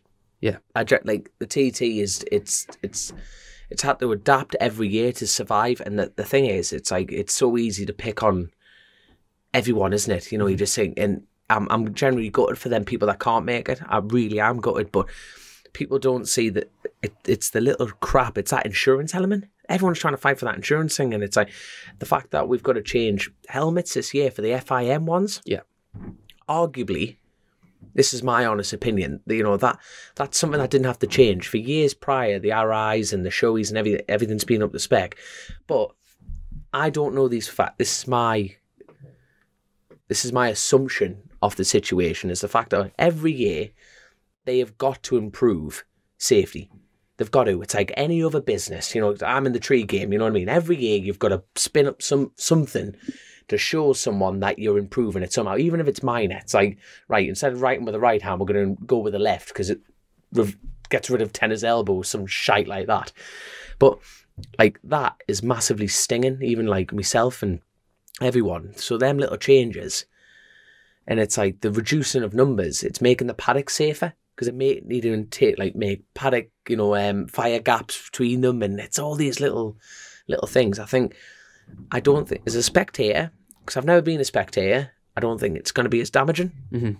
I think the spectacle's just going to be as great, and I think you know them them it's ten riders less. The races are probably going to be faster as well, aren't they? I would say now it's like um, the lapping situation. Yeah, you know it's like Uh, yeah, uh, probably better all around. yeah. Uh, good question, Jesse Mortimer. I'll just give him a quick shout out. He can ride a bike. That boy, yeah, he like did, he that did boy very, can ride a bike. he did very well at uh, on the flat track. But uh, it was great to meet Alan Carter this weekend. Would be cool to hear a bit more about him and his role with you, Chrissy, as he seems to be a brilliant influence to have around. And for Don, what will you be doing? Will you be doing much classic racing this year? So yeah, a few people have ac- actually asked uh, for Alan to be on the podcast, and he was on very early on. But we'll One get of the Mark ones, wasn't he? Oh, yeah, we'll get him back on sometime soon. But yeah, uh, are you planning on doing any classic racing? Yeah, gonna try and do is um as much like just it's that I plan everything around the TT, so everything after that is a bonus. Mhm. That includes the Ulster and the Southern and everything. You know, I want to do it all. It Yeah. just all depends on the money. But no, as far as the classics are concerned, I'll I'll be definitely hopefully doing Pembrey. I'll be doing Tandragee with the Davies team. This is all with the Davies team. So I'll be doing Cookstown 100 with the Cowton team. Mhm. And then doing Tandragee. So I'm trying to think of the which way that order is. I think it's Tandragee first, then Cookstown. So you will. I, I'm hope I'm, I'm I'm trying to remember that. Anyway, so I'll be doing Davies with the uh, Tandragee and then Cowtons with the 600, which is good. Yeah. Class. I'll look forward to seeing you out on that. Uh, Andy H, has the podcast led, led to better sponsorship offers or ride offers? Also, a couple of favourite moments. This whole episode's about. Do you know what? It's funny because it's uh, uh, probably uh, obviously the podcast grown in its profile all the time, and we're, we're probably getting more privateer as this time goes on. But uh, no, it's um, it's introduced us to some. Well, I can speak for myself. It's introduced us to loads of great people, and uh, I've I've managed to uh, like meet people through the podcast that have helped us. So uh, for me, it's um, yeah, it's been fantastic for, in in that regard. Um, yeah, yeah, same thing. I think you know it's um, One thirty club and that sort of thing. yeah that, that element of it, but no, like um because the end of the day, Chris, we- we've put all the work in. You know, like. But people just think because you've got this, people think you get loads of that. But not, it's not, is it? You know, it's. But at the end of the day, you get a lot of people coming up to you going, "Oh, you, you know, it's you're doing good work, and you're getting this, and you're getting like." I do. I Yeah. do also, although it is a lot of uh, a lot of work and a lot of um, sort of t- uh, tired nights and stuff. I do really appreciate the the fact that we have this platform. I know a lot of uh, you know nearly all the other riders don't have uh, like a weekly opportunity to to speak to a load of people. So Yeah. although it is, I, I do sort of see it as a sort of service to do it. I've I really appreciate the have having this opportunity, and I really appreciate the people that that listen and sort of comment on things and stuff. It's um it's actually like yeah really really nice. And to be honest, you know, you know when I was talking about the confidence about ringing people, Mm-hmm. I think this platform's giving us that confidence to actually go. You know what? I'm, But- I'm just going to give them a ring, and they go, "Are you Chris's mate?" I can't. I am. I'm. I'm. I'm. I'm Chris's I just mate. gonna it- say, you be- got. You got any uh, brake pads? Be, be, got- be honest, do you do you ring them up and say, "Hi, it's Dom from Chasin the Racin"? Have I shite? Have I shite? No, no. Again, I'm Chris's fat mate. You know that. uh, I t- I, I just just quickly, by the way, me and Dom have just got these class new business cards. So if anyone ever sees us, come over and ask. It's just not tapping. because you, you, they're literally like you just go close to a phone and then it brings up all like all the podcast like platforms now. And it class. takes your credit card details Yeah, as well. So we give you something and we get it back. Uh, so we've got um, Peter Buchanan. Have you been keeping up with the MotoGP test? What do you think is going to be the dark horse? Who do you think is going to be the dark horse this year? I haven't massively been keeping an eye on it, but yeah, I've seen uh, Vinales was leading on first day, I think it was, first or second day. By the time this podcast goes out, it'll all be a bit outdated, Yeah. but I think Bastianini was fastest today. Haven't really been massively keeping an eye on it, but who's the dark horse for me? Um, it's difficult, really. What do you have one? You know who's kind of accidentally become a dark horse? Marquez. You know, with this injury and the eyesight thing, you're thinking, Mm. He, Is he, he- crashed is he- again today. I think Did he? he? was he was ninth overall, but uh, I think he's really happy with the changes Honda have made. So yeah, it's difficult to say. so it'll be, yeah, I think he's become a dark horse, even though he's won the championship God knows how many times. But Um, Andy Graham, it's gone really quiet on what you guys are up to this season. Any updates? I don't know if any of the other patrons are up for s- up for a sponsorship deal between us. Could put it out there. Well, we're kind of both running sort of like an individual. Well if if you have companies that we could, people can help us both out, and if um, we've both got our sort of clubs as well for individuals. So uh, yeah, it would be unbelievable. Like incredibly you're part of my club without paying Yeah, for a member, so you'll have to pay to be, and I'll join the pay to be part of and, yours. um, incredibly grateful for uh, for your support, Andy. There, so yeah, thanks very much. I do appreciate that, and um, I'm just, do you know, I've put that idea about the little squares. I'm dreading someone puts like a really inappropriate. Well, there goes my idea. Have like a, maybe blurred out. Um, so, can you drink rich energy through your eye? Def- oh. I wouldn't want to No. try that one to be honest. Um, Give it a go anyway. Nice plug, by the way. yeah. Uh, Ken O'Shea, hey Dom, are you doing the 700 this year? 12 of us heading over in July. 700? Um, that's definitely an event I want to do. Um, it's uh, goes without saying the Cowton family aren't doing it, and for those who have tuned in and don't know that, it's um one of me one of my uh, best friends, D- James Cowton. Um, he lost his life at the Southern, so the Cowton team don't want to go there.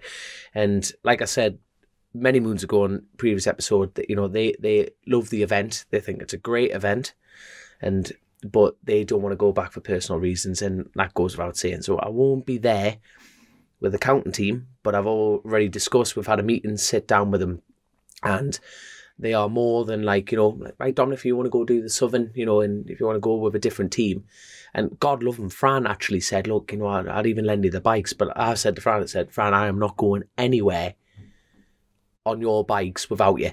That's not how I want to. I've learned. I've these last two years. I've learned so much about that, and it's about having the atmosphere, the right team atmosphere. And I think that's like even going jumping that back to you because I think that's why you're going to have a shit hot year because you've got the right people around you, and it, like, and the good thing is, if you don't hit your ambitions or your targets, you know you've done the right thing by having the right people around you. I think it's uh, it's an exciting year, exciting year. But hopefully, yeah, um, hopefully get to catch up with the Southern anyway. That'd Class. be great.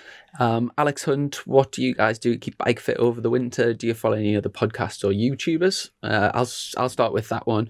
Uh, fitness, yeah, I've been recently working with a with a trainer, and it's the first time I've ever done done that. Uh, I've always kind of done my own thing from when I was much younger, I was really into like loads of sports. So I was naturally like very fit without having to do anything bike specific. Uh, over the last few years, I've I've not uh, made a, a massive thing of my fitness, really. Um, especially the year that I was thinking about this the other day, actually, the, the year that I actually won the championship and had the most success. Uh, I started that season with a bad injury, which stopped us from doing any training whatsoever in the run up to it. And then by the time the season started, and um, I was that busy in between the rounds, so I pretty much didn't train that for the full off season and the because of my injury, and then Aye. the full season. And it, I, and ironically, actually, I had my best year. Uh, and other times where I've put like a lot of effort into training and maybe not done so well, but I don't. It's not like a co- co- uh, the cause correlation thing. Uh, and I'm for the first time I've been unbelievably strict this winter so far, um, but completely different type of training what I've ever done before.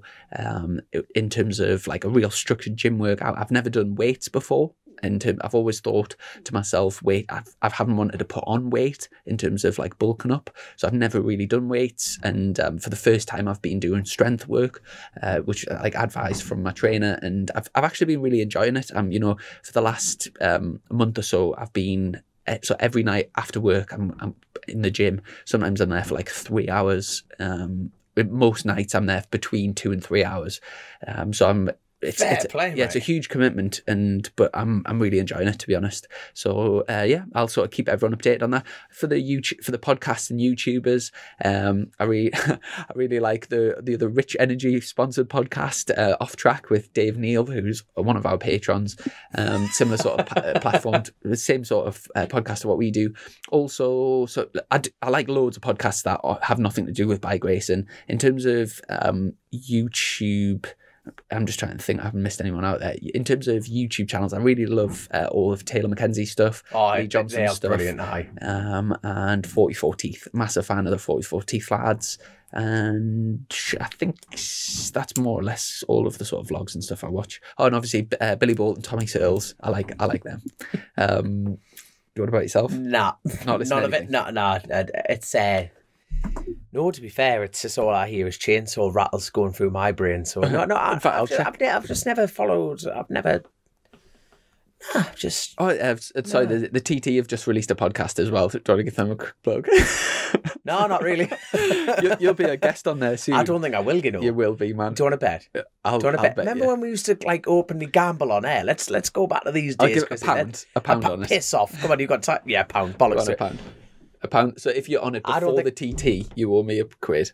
And if Put a fiver on it. I'm on gonna fiver. fiver. Right here we go. champion. Uh, Hey, so, Billy. Speaking of Billy Bolt, we haven't done with Speedway Challenge, and he's been practicing. ah, There's a hundred quid on that, Uh, and I do not have a hundred quid to chuck at that bet. So, Uh, and he listens, Billy, get it sorted, son. Get it sorted. I do listen to some very odd sort of uh, off, completely nothing to do with bike racing podcasts. But if anyone, Brigade. if anyone wants to know about uh, them sort of podcasts, then just drop us a message.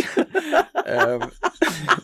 That sounded incredibly seeded. No, That's it's, brilliant. It's nothing weird. It's just uh, nothing to do with Yeah, bike racing. So, like- so uh, what's uh, got up to Luke? How do you think? Uh, sorry. So, hi. Who do you think could be the dark horses for the TT this year? I think James Hillier might win the Super Sport as he is on an R6 this year.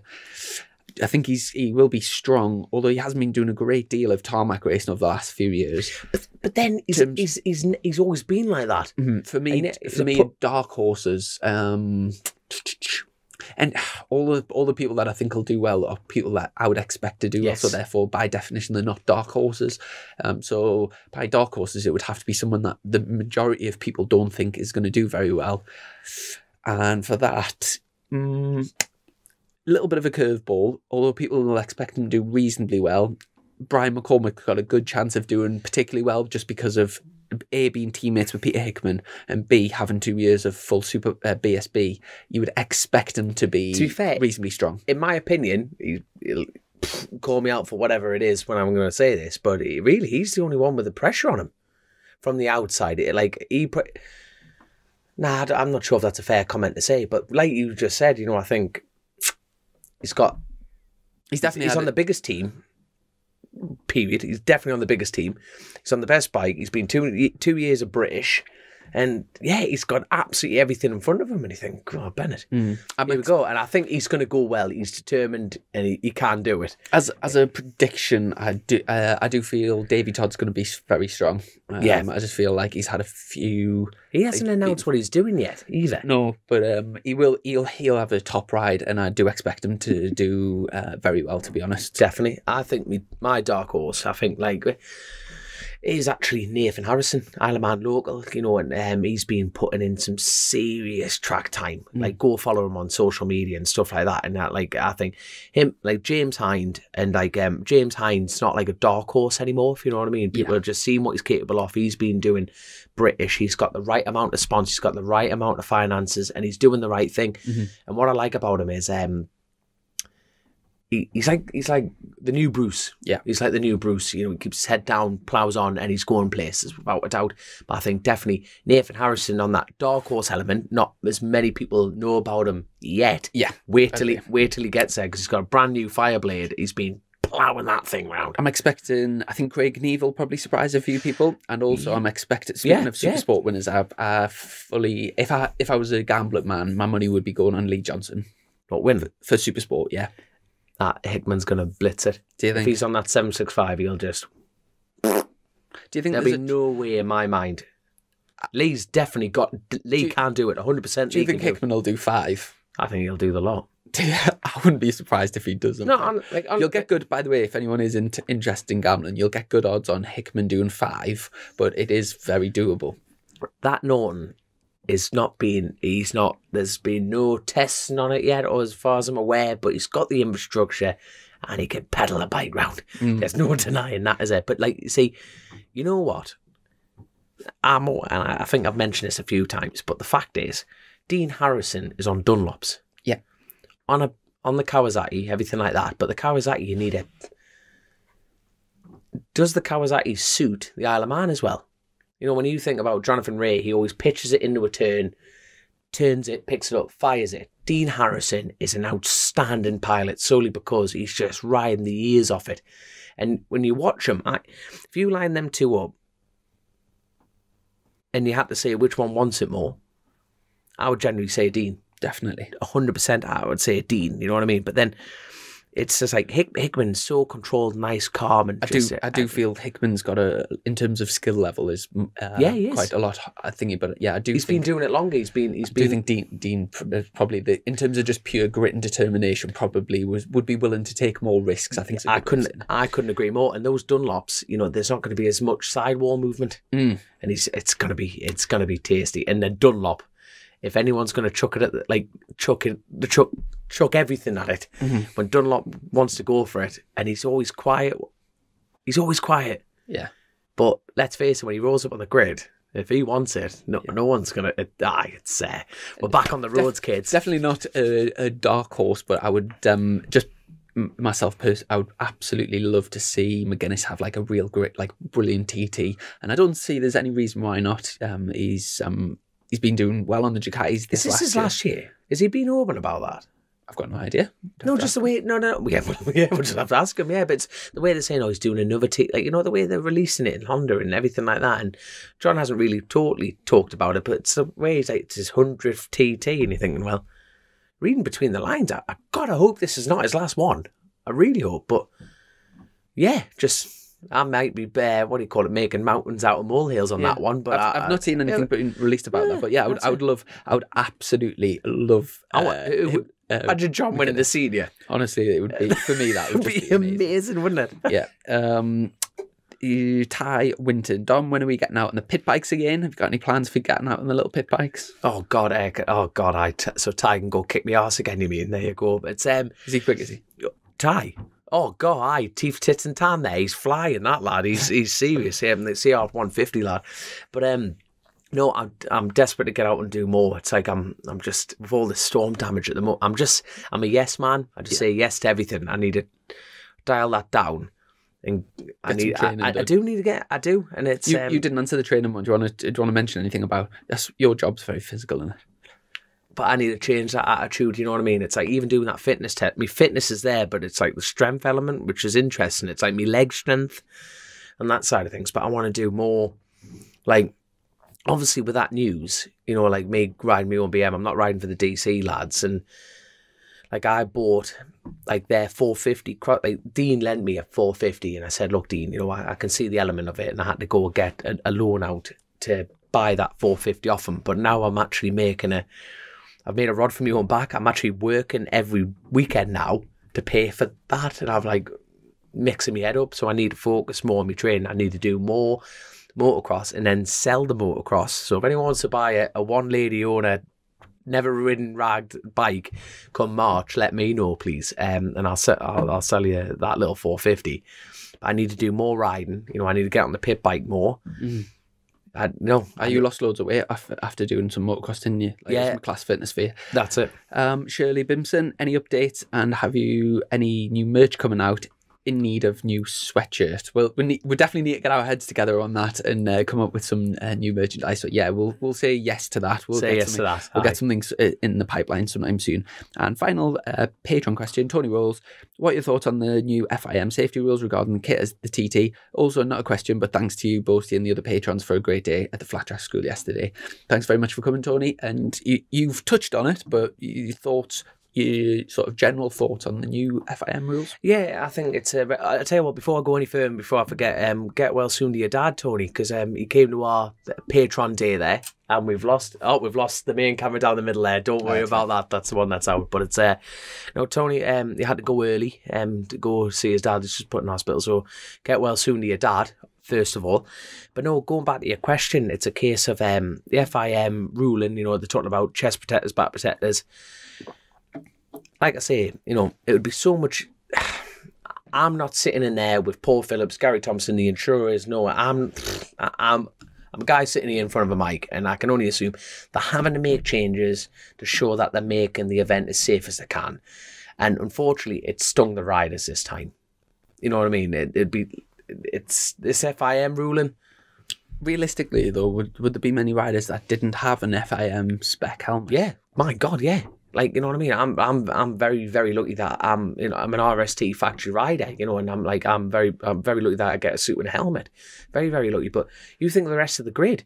You know, like I'm speaking like Forrest Dunn. You know, he's a really close friend of mine. But that that's like 700, 700 odd quid just on the lid. Never mind the airbag suit and everything. And it's like these lads are comfortably in the top fifty.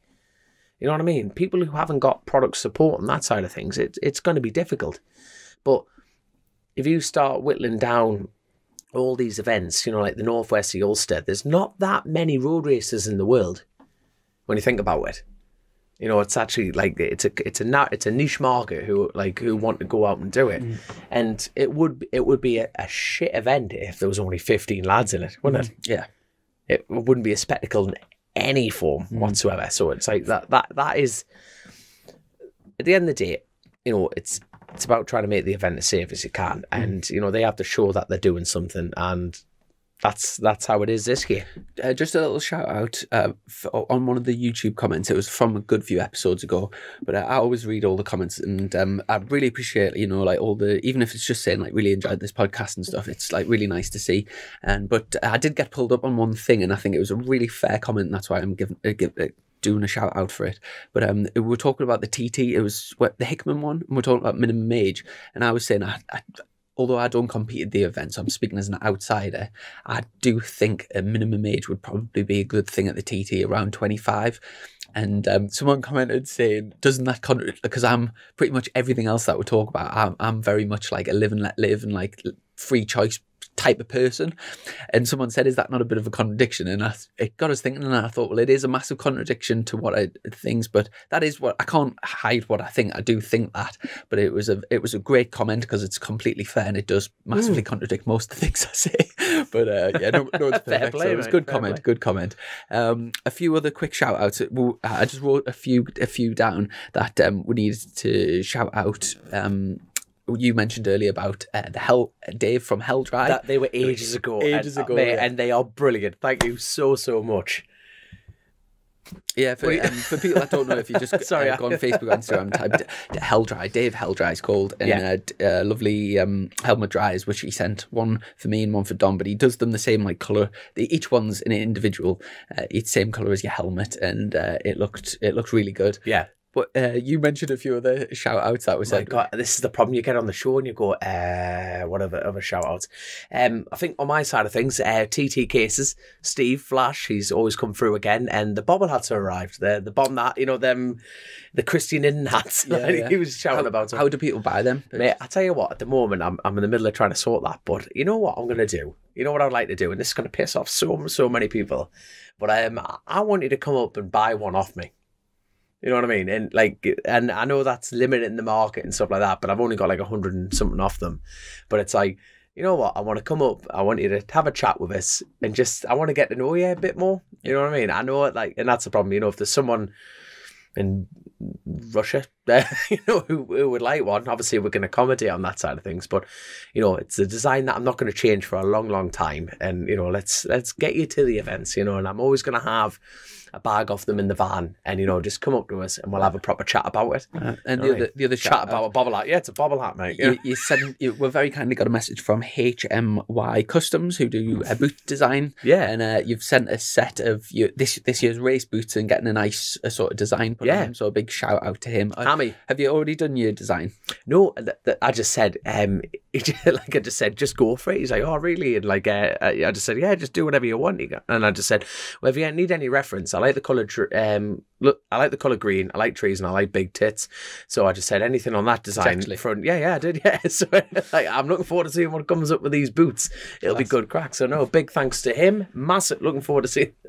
really looking forward to seeing the end product Yeah, on bet- that side of things. Yeah, well, uh, it's been really nice uh, just to do a podcast with um, just us two. And if anyone is still watching or listening, thanks very much for for doing the full show.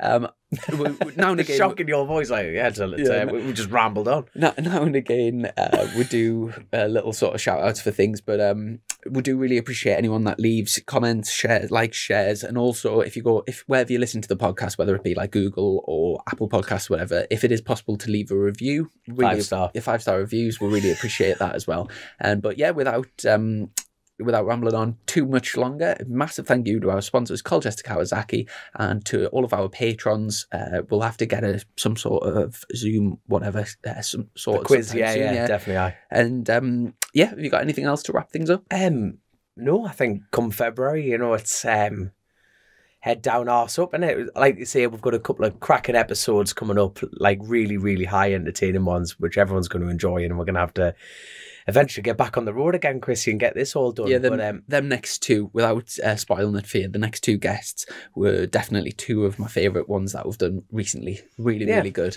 Uh, so, So- yeah, enjoy them. But but the good the good thing side of it is like I know I'm going back on what we were previously saying. You know, at the end of the day, you know, I'm looking for some like financial packages. I'm very lucky that I'm I'm doing all I literally need to get is uh like an awning. That's the only thing I need to get my hands on. You know, just a pop up awning. But like um. Any sponsor want to come on board for the roads element, please get in touch with me. But seriously, for you, Chrissy, you know, just uh, any, I'm gonna, I'm gonna flood your inbox for you, because if anyone thinks they can help you out in any small matter of way, please get in touch with Chrissy. You know, like you know, tire racks, warmers. You know, sponsor a pack of tire warmers, or you know, sponsor a, a set of brake pads, or anything on that side of things. Just flood Chrissy's inbox. You know what I mean? God, God love Grace, because uh, she's she's in charge of a social media element, and she's doing an awesome job of it. So the, her phone will be going ping, ping, ping, ping, ping. God love her. But um, no, like you say, Chrissy, thank you so much to all our patrons, Colchester Kawasaki, and uh, aye, Roll on next go- podcast. Roll on next podcast, son. Excellent. Thanks very much. Take Cheers, care. mate. See ya. Click, buy, deliver. With remote purchasing from the two time Motorcycle News Dealer of the Year, Colchester Kawasaki. Proud sponsors of Chasin the Racin.